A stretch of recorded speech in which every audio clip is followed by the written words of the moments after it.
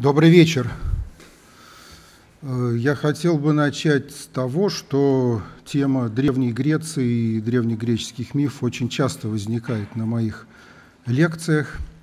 Э, ну, например, в том отрывке, который э, вы сейчас увидели перед лекцией, это отрывок из курса прошлого года, посвященный рождению философии в поле древних мифов. Там как раз потребовалось упомянуть множество из них. Да? Ну, в частности, для того, чтобы рассказать о семиотической теории появления субъекта, важнейшем философской категории, э, я рассказывал про Одиссея, про его путешествия и про многие сопутствующие обстоятельства. А вообще, э, вообще на протяжении э, уже многих лет моих рассказов и лекций ну, неоднократно возникают различные упоминания того, что о чем знали древние греки. Да? Ну, например, там, когда я рассказывал про Кинг-Конга, я почему-то рассказал про Амура и Психею. Да? Как-то так сложилось. Да? Или э, необычайно интересная тема, которая связана с Эдипом, и э, рассказывая про Эдипа, я упомянул о том, что этот миф лежит в основании вообще европейской культуры. Тут же вот возник вопрос. Это почему? Это как? Как это понимать? Как это мы? Мы все действительно, что ли? Может быть, мы все Эдипы? Да? Нет? Нет, нету. Хорошо, разберемся, попытаемся. Да? Вот. Э, ну или, например, э, когда опять-таки несколько в другом контексте я рассказывал э, про появление, различные терминологические трудности, связанные с искусством. Я упомянул фильм «Братьев Коэн» «О, где же ты, брат?», а там опять история Одиссея, да, и э, Джордж Клуни как раз его самого и играет, правда, уже в современности. Да?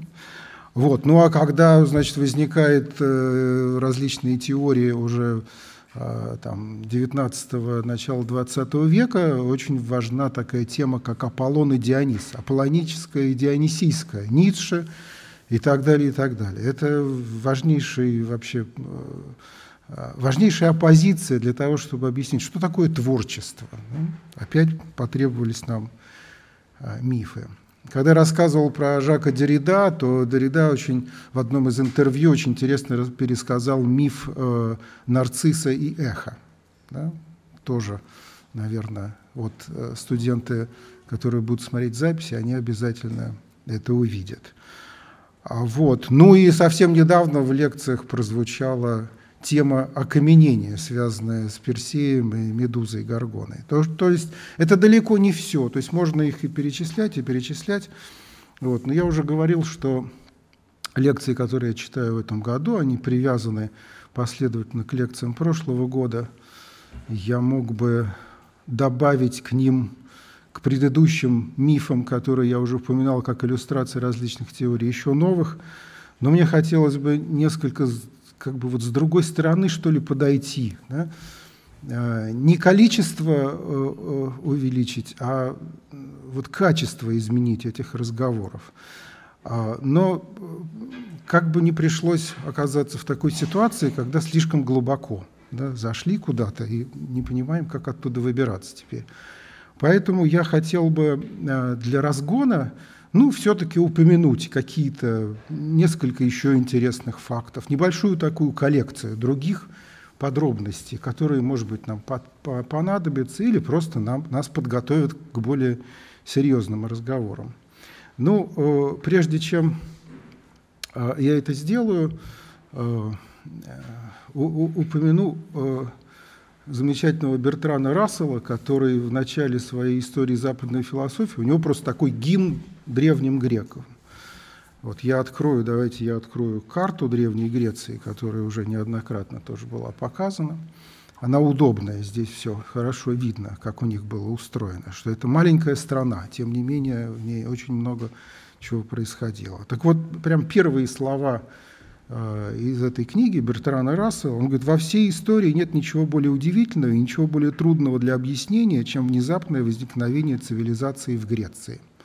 Он говорит, что и у других народов, которые грекам предшествовали, у них, собственно, все уже было. Да? Вот, э, только греки, может быть, совсем мало добавили к тому, что было, ну, скажем, научившись у египтян. Да? И вдруг это совершенно на другой уровень перешло.